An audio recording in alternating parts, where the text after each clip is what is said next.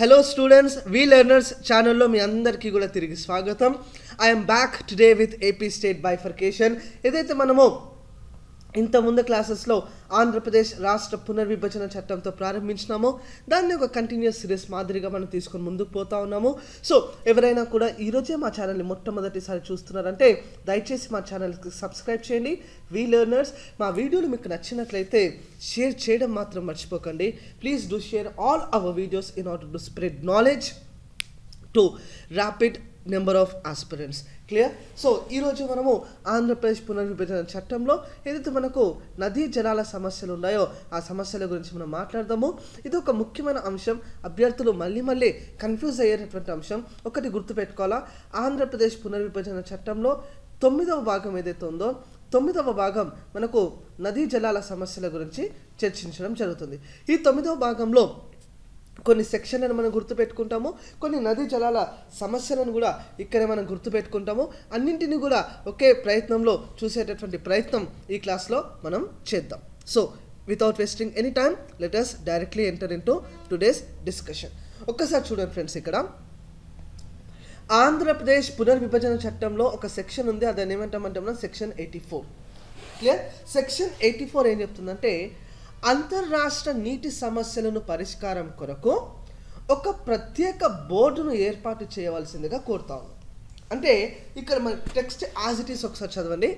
The central government on and from the అపాయింట్మెంటే day and an council council the supervision of the functioning of Godavari river management board clear Godavari river management board ఏదైతే ఉందో దాంట్లో మనకు మొత్తం ముగ్గురు సభ్యులు ఉంటారు.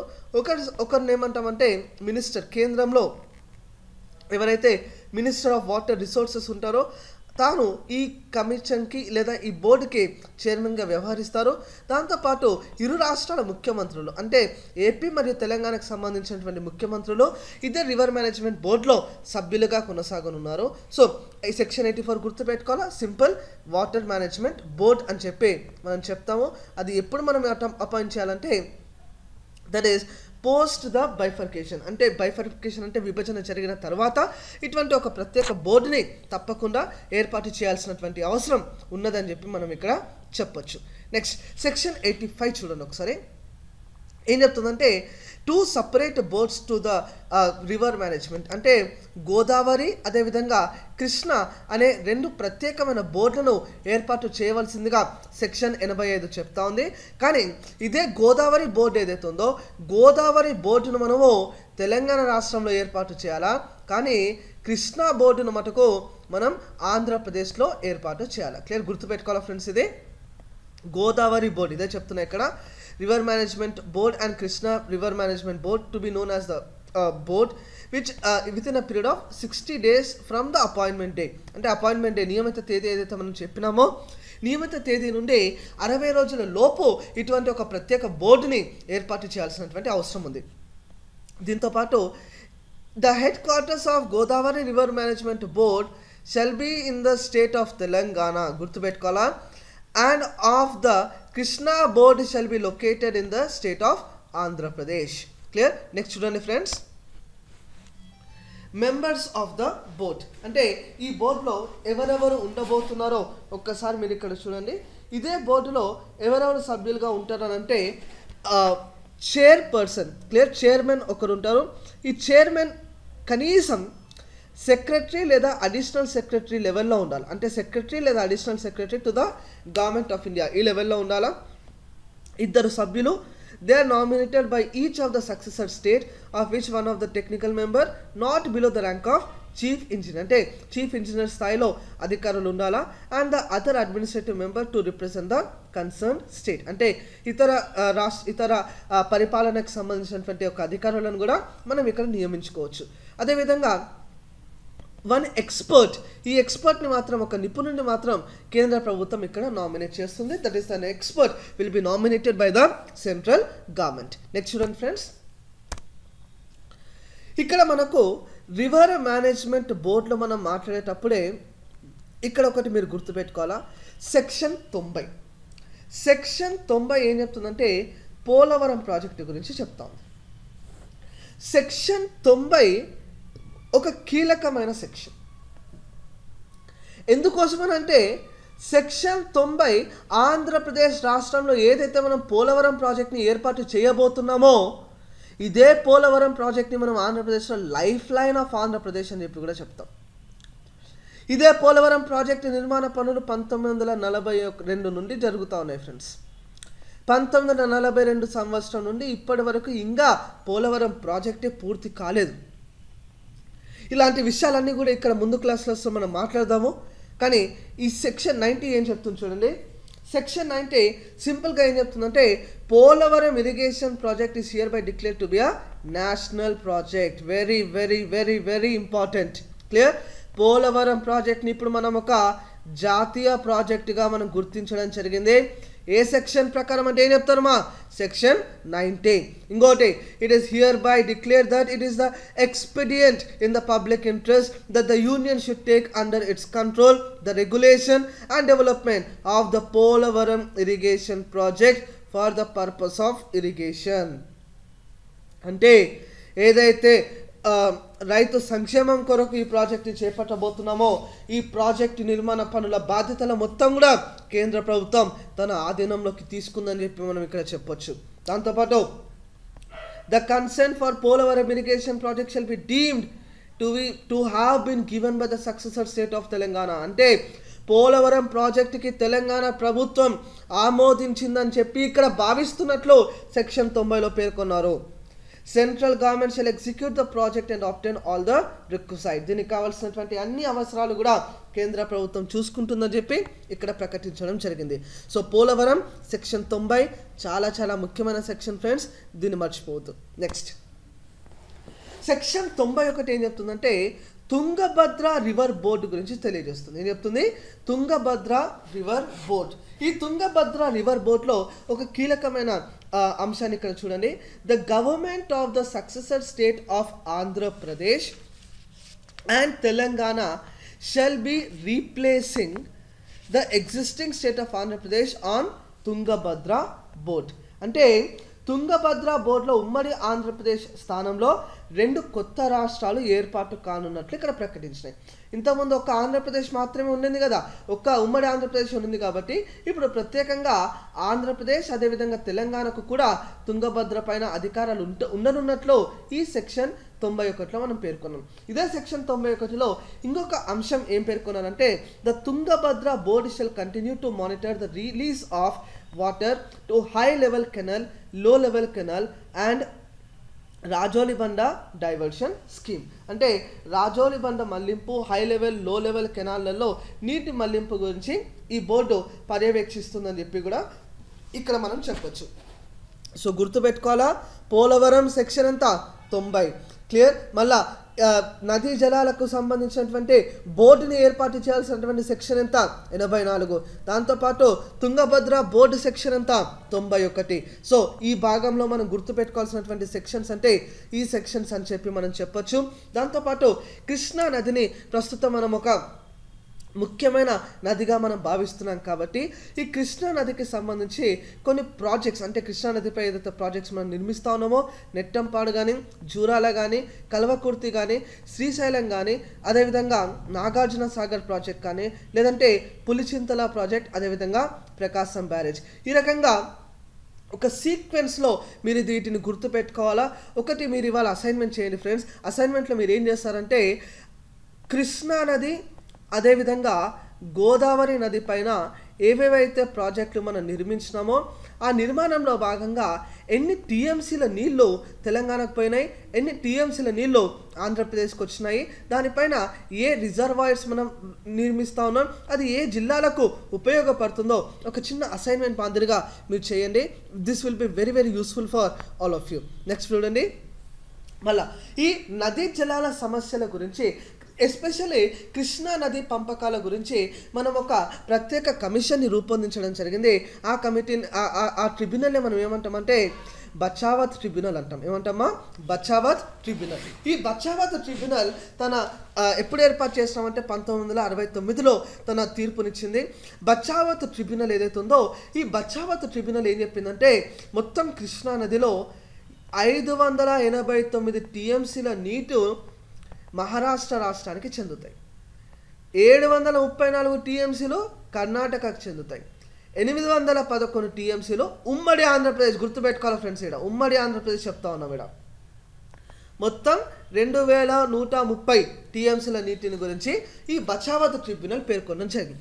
The figures are very important ఎగ్జామ్లో నేరుగా మిమ్మల్ని ఫిగర్స్ అడుగుతూ ఉంటారు కాబట్టి ఫిగర్స్ని ఎక్కడ కూడా మర్చిపోవద్దు. నెక్స్ట్ ఇంకొక ట్రిబ్యునల్ మనం రెండు వేల పది సంవత్సరంలో ఏర్పాటు చేసినాం. టూ థౌజండ్ టెన్లో మనం ఏర్పాటు చేసినటువంటి ట్రిబ్యునల్ని మనం ఏమంటాం అంటే బ్రిజేష్ కుమార్ ట్రిబ్యునల్ అంటాం. ఇప్పుడు ఏవైతే నదీ జలాల సమస్యలు వస్తూ ఉన్నాయో ఆ సమస్యలన్నింటినీ కూడా మనము బ్రిజేష్ కుమార్ ట్రిబ్యునల్ ఆధారంగానే చేస్తూ ఉన్నాము. బ్రిజేష్ కుమార్ ట్రిబ్యునల్ ఏం చెప్పిందంటే కృష్ణా నదీ జలాల్లో ఆరు వందల అరవై ఆరు టీఎంసీల నీటిని మహారాష్ట్ర వాడుకోవాలా? తొమ్మిది వందల పదకొండు టీఎంసీలో కర్ణాటక వెయ్యిన్ని ఒక టీఎంసీ నీటిని మాత్రం ఉమ్మడి ఆంధ్రప్రదేశ్ వాడుకోవాలా? మొత్తం మీదుగా చూసుకుంటే రెండు వేల ఐదు వందల డెబ్బై ఎనిమిది టీఎంసీల నీటిని వాడుకోవచ్చు అని చెప్పి బ్రిజేష్ కుమార్ ట్రిబ్యునల్ పేర్కొన్నది. సో రెండు ట్రిబ్యునల్స్ కూడా వెరీ ఇంపార్టెంట్. ఒకటి బచావత్ ట్రిబ్యునల్. ఎప్పుడు వచ్చిందమ్మా నైన్టీన్ సిక్స్టీ నైన్. రెండు బ్రిజేష్ కుమార్ ట్రిబ్యునల్. ఎప్పుడు వచ్చింది రెండు వేల పది. తర్వాత ఆంధ్రప్రదేశ్ ఏదైతే మనకు నదీ జలాల సమస్యలు ఉన్నాయో ఈ నదీ జలాల సమస్యల పరిష్కారం కొరకు ఒక అపెక్స్ కౌన్సిల్ సమావేశాన్ని మనం నిర్వహించడం జరిగింది. అపెక్స్ కౌన్సిల్ సమావేశాన్ని మొట్టమొదటిసారిగా ఎప్పుడు నిర్వహించినామంటే సెప్టెంబర్ ఇరవై ఒకటి రెండు వేల పదహారు. ఇంతకుముందు సెక్షన్ ఎనభై నాలుగులో మీకు చెప్పుంటా ఈ అపెక్స్ బాడీ ఏదైతే ఉందో దీనికి అధ్యక్షత వహించేది కేంద్ర నీటి పారుదల శాఖ మంత్రి. అదేవిధంగా ఇరు రాష్ట్రాల ముఖ్యమంత్రులు కూడా దీంట్లో సభ్యులుగా ఉంటారు. ఇక్కడ మీరు చూడొచ్చు ఉమాభారతి అదేవిధంగా ముఖ్యమంత్రి చంద్రబాబు నాయుడు అదేవిధంగా తెలంగాణ ముఖ్యమంత్రి కె. చంద్రశేఖర్ రావు ఈ కమిటీ ఈ అపెక్స్ కౌన్సిల్లో పాల్గొనడం జరిగింది. అపెక్స్ కౌన్సిల్లో ఏం తీర్మానాలు చేస్తున్నారనంటే గుర్తుపెట్టుకోవాలా? The two Telugu states have been sparring over sharing of river waters. Telangana alleged the Telangana ఆరోపణ ఏం చేసిందంటే Andhra was resorting to diversion of huge quantity of water from Pothireddypadu head Andhra objected to illegal projects like Palamuru Rangareddy అదేవిధంగా Dindi that are being taken up by Telangana అంటే పోతిరెడ్డిపాడు ప్ర- ప్రాజెక్టును వ్యతిరేకిస్తూ తెలంగాణ ప్రభుత్వం ఆరోపణ చేస్తే పాలమూరు రంగారెడ్డి అదేవిధంగా డిండి ప్రాజెక్టులను వ్యతిరేకిస్తూ తెలంగాణ అక్కడ ఒక ఆరోపణ చేయడం జరిగింది. ఇక్కడ ఏం చెప్తానంటే సెటప్ ఆఫ్ టెలిమెట్రీ టెలిమెట్రీ అంటే పర్యవేక్షణ కోసం ఒక ప్రత్యేక టెక్నాలజీని ఇక్కడ ఏర్పాటు చేయబోతున్నారు. స్టడీ ఆన్ వాటర్ ఇష్యూస్ అంటే నీటి సమస్యలను పరిష్కరించడానికి ఒక ప్రత్యేక నిపుణుల కమిటీని ఏర్పాటు చేసుకోవచ్చు. Joint committee on water sharing clear ఈ మూడు అవుట్కమ్స్ ఇక్కడ వచ్చినాయి. ఈ మూడు తీర్మానాలు ఇక్కడ వచ్చినాయని చెప్పి మనం చెప్పొచ్చు. మొదటిది ఏంటంటే టెలిమెట్రీ ఏర్పాటు నీటి సమస్యలు పైన ఒక ప్రత్యేక స్టడీ చేయడం మూడోది ఒక జాయింట్ కమిటీని ఏర్పాటు చేయడం. ఇప్పుడు పోలవరం ప్రాజెక్ట్ ఇంతకుముందు ఏదైతే మీకు పోలవరం ప్రాజెక్టు గురించి చెప్పినామో ఇదే పోలవరం ప్రాజెక్టు గురించి కొన్ని డీటెయిల్స్ మీరు ఇక్కడ తెలుసుకోవాలా? పోలవరం ప్రాజెక్ట్ ఏదైతే ఈస్ట్ మరియు వెస్ట్ గోదావరి జిల్లాల మధ్యలో గోదావరి నదిపై ఉంటుందో ఎందుకు ఇటువంటి ఆ ప్రాజెక్ట్ మనం నిర్మించాల్సి వచ్చిందంటే ప్రతి సంవత్సరం గోదావరి నదీ తీరంలో ఏదైతే నీటి ఆ ఫ్లో ఉంటుందో ఈ నీటి ఫ్లోలో దాదాపు మూడు వేల టీఎంసీల నీరు మనకి ఇక్కడ బే ఆఫ్ బెంగాల్లో వృధా అయిపోతున్నాయి ఫ్రెండ్స్ క్లియర్ బే ఆఫ్ బెంగాల్లో మూడు వేల టీఎంసీల నీరు వృధాగా పోతుంది. సో ఇక్కడ మనం ఏం చేస్తామనంటే ఈ నీటిని బే ఆఫ్ బెంగాల్ వైపు వెళ్ళకుండా మనం ఏం చేస్తామనంటే మనం ఇక్కడ ఒక ప్రత్యేక బ్యారేజ్ని రూపొందించడం క్లియర్? ఈ డ్యామ్ని మనం ఏమంటామంటే పోలవరం డ్యామ్ అని చెప్పి మనం చెప్తాం. ఈ పోలవరం డ్యామ్ నిర్మాణానికి ఇంత సమయం ఎందుకు పట్టింది? అసలు దీంట్లో లోపం ఏంటి? అసలు ఎందుకు పోలవరం యొక్క ఎజెండా ఏంటి? ఇట్లాంటివన్నీ కూడా ఈరోజు మనం తెలుసుకునేటటువంటి ప్రయత్నం ఈ క్లాస్లో చేద్దాం. గోదావరి నీటిని తీసుకొని కృష్ణా నదికి లిఫ్ట్ చేస్తున్నాం మనం.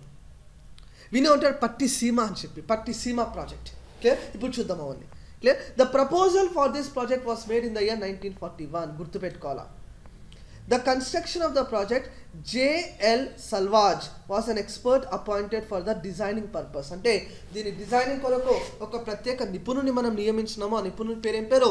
సల్వాజ్ according to the state reorganisation act two thousand fourteen Polavaram was announced as the జాతీయ ప్రాజెక్ట్ నేషనల్ ప్రాజెక్ట్ ప్రాజెక్టుగా దీన్ని మనం ప్రకటించడం జరిగింది. జనవరి తొమ్మిది రెండు వేల పదిహేనున పోలవరం ప్రాజెక్ట్ అథారిటీని ఏర్పాటు చేయడం జరిగింది. All the expenditure on construction of Polavaram will be బేడ్ by NABARD national bank for agriculture and rural development as an ally of central government అంటే కేంద్ర ప్రభుత్వం తరపున పూర్తి ఖర్చును భరించేదే నాబార్డ్ అని చెప్పి ఇక్కడ మనం చెప్పచ్చు. ఒకవేళ ఈ పోలవరం ప్రాజెక్టు పూర్తయినట్లయితే దాంట్లో మనకు ఎంత లాభం వస్తుంది? బెనిఫిట్స్ ఏంటి? ఒక్కసారి చూడండి friends Godavari is one of the most flooded rivers in south India nearly three thousand TMCs of water flows in to ocean as wastage every year whenever the water levels in other major rivers krishna and penna are reducing year by year which has become a serious concern to lakhs of farmers. Krishna నదిలో నీటి మట్టం తగ్గిన పెన్నా నదిలో నీటి మట్టం తగ్గిన అదొక సమస్యాత్మక సమస్యగా మారిపోయింది కాబట్టి ఇక్కడ మనం ఏం చేస్తున్నామంటే ఈ పోలవరం ప్రాజెక్ట్ని నిర్మించి గోదావరి నదిని అదేవిధంగా కృష్ణా నదిని అనుసంధానం చేస్తాం. అంటే పోలవరంకి దగ్గరలో ఈ గోదావరి అదేవిధంగా కృష్ణా నదిని అనుసంధానం చే- చేసి గోదావరి జలాలను మనం కృష్ణా నదిలోకి లిఫ్ట్ ద్వారా పట్టిసీమ ద్వారా తరలించడం జరుగుతుంది. ఈ గో ఈ పోలవరం ప్రాజెక్టు రెండు వేల పదహైదు సంవత్సరం నుండి కొద్దిగా వేగంగా నిర్మాణ పనులను చేపట్టడం జరిగింది. దీంట్లో ఒక ముఖ్యమైన కాంపోనెంట్ ఏంటంటే spillway friends. Spillway అంటే ఏదైతే మీరు డ్యామ్ని చూస్తుంటారు ఎప్పుడన్నా ఆ డ్యామ్లో ఏవైతే గేట్స్ ఉంటాయో ఆ గేట్స్ అన్నింటినీ కలిపి మనం స్పిల్ వే అని చెప్పి చెప్తాం. దీంట్లో మనకు మొత్తం నలభై ఎనిమిది స్పిల్ వేసి నలభై ఎనిమిది గేట్లను ఐరన్ గేట్లను ఇక్కడ ఏర్పాటు చేయడం జరిగింది. దాంతోపాటు కాఫర్ డ్యామ్. కాఫర్ డ్యామ్ అంటే ఏదైనా ఏదైతే ఎత్తు ప్రాంతంలో ఈ ఈ గేట్లను ఏర్పాటు చేయడానికి ఏదైతే ఈ బేస్ ఉంటుందో దాన్ని మనం కాఫర్ డ్యామ్ అని చెప్పి చెప్తాం. ఈ కాఫర్ డ్యామ్ యొక్క ఎత్తు height forty one metres. Length దాదాపు two point three kilometres. Clear? So ఈ రకంగా this is one speciality of this. ఇంకొక ముఖ్యమైన అంశం ఈ పోలవరం ప్రాజెక్టులు ఏంటంటే ఈసీఆర్ఎఫ్ ఫ్రెండ్స్ ఈసీఆర్ఎఫ్ అంటే అర్త్ కమ్ రాక్ఫిల్ డ్యామ్ అంటాం దాన్ని. అర్త్ కమ్ రాక్ఫిల్ డ్యామ్ అంటే ఏంటంటే ఇప్పుడు మనకు ఒకటి గుర్తుపెట్టుకోండి. గోదావరి నది ఈ మాదిరిగా ప్రవహిస్తూ ఉంది. ఇప్పుడు గోదావరి నది ఈ మాదిరిగా ప్రవహించేటప్పుడు ఈ నీటి మొత్తాన్ని కూడా మనం బే ఆఫ్ బెంగాల్ వైపు వెళ్ళకుండా ఆపేయాలి. బే ఆఫ్ బెంగాల్ వైపు వెళ్ళకుండా ఆపేయాలంటే మనం ఏం చేస్తామనంటే దీనికి అనుసంధానంగా పక్క ప్రాంతంలో అంటే రివర్ ఫ్లోకి పక్కన మనం ఏం చేస్తామనంటే ఒక పెద్ద కొండను ఐడెంటిఫై చేస్తాం clear that is we have identified a big rock ఆ కొండను ఏం చేస్తామనంటే ఆ కొండ మొత్తాన్ని కూడా భూమికి సరి సమానంగా ఒక డయామీటర్లో మనం దాన్ని కన్స్ట్రక్ట్ చేస్తాం అంటే భూమికి సరి సమానంగా ఆ పెద్ద కొండని పలగొట్టి మనం భూమికి సమాంతరంగా ఏర్పాటు చేయడం జరిగింది. సో దాట్ మనం ఏం చేస్తున్నామంటే ఈ ప్లెయిన్ ఏరియాలో ఈ నీటిని మనం మళ్ళిస్తూ ఉన్నాం. Instead of going to Bay of Bengal we are diverting that లేదా దాన్ని ఏమంటామంటే earth cum rock fill dam అంటాం. ఏమంటాం? Earth cum rock fill dam clear so ఇప్పుడు దీంతో పాటు ఇంకొకటి ఏంటంటే ఇదే పోలవరం డ్యామ్ వల్ల మనకు తొమ్మిది వందల అరవై మెగావాట్ల యొక్క పవర్ జనరేషన్ కూడా మనకు ఇక్కడ చేపట్టేటువంటి అవకాశాలు ఉంటాయి. ఇప్పుడు పోలవరం డ్యామ్ గురించి ఇంకొక ముఖ్యమైన విషయం మీరు ఇక్కడ గుర్తుపెట్టుకోవాలా? పోలవరంకి సంబంధించినటువంటి లెఫ్ట్ కెనాల్ అదేవిధంగా రైట్ కెనాల్ అని చెప్పి చెప్తాం. లెఫ్ట్ కెనాల్ మనకు నూట ఎనభై ఒకటి పాయింట్ ఐదు జీరో కిలోమీటర్ల దూరం కెనాల్ ఉంటుంది. రైట్ కెనాల్ వచ్చేసి నూట డెబ్బై నాలుగు కిలోమీటర్ల దూరం ఉంటుంది. Right కెనాల్తో we are connecting till Prakasam. ఇంకా ముందుకు కూడా పోవచ్చు. లెఫ్ట్ కెనాల్తో మనం విశాఖపట్నం శ్రీకాకుళం ఇలాంటి ప్రాంతాలన్నింటిని కూడా మనం కవర్ చేస్తూ ఉన్నాం. అంటే ఈ ఒక్క పోలవరం ప్రాజెక్ట్ ద్వారా we're able to give water to the almost entire state of Andhra Pradesh clear bay of Bengal వైపు వెళ్తున్నటువంటి ఒక వృధా నీటిని మొత్తం ఆంధ్రప్రదేశ్ వైపు మళ్ళించేటటువంటి ప్రయత్నం ఈ ప్రాజెక్టు ద్వారా మనం చేస్తా ఉన్నాం సో పోలవరం అనేది ఒక కీలకమైన అంశం. పోలవరం ప్రాజెక్టు గురించి ప్రస్తావన ఏ సెక్షన్లో చెప్పినారంటే ఏం చెప్తారు friends? Section ninety. Section ninety ప్రకారం పోలవరం ప్రాజెక్ట్ని మనం ఒక జాతీయ ప్రాజెక్టుగా కూడా గుర్తించడం జరిగింది.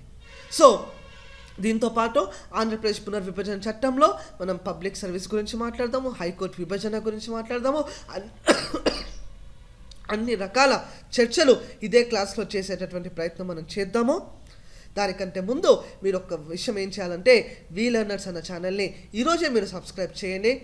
ఎంతమందికి వీలైతే అంతమందికి షేర్ చేయండి. Sharing knowledge is sharing wisdom so please keep watching we learners. Thank you thank you so much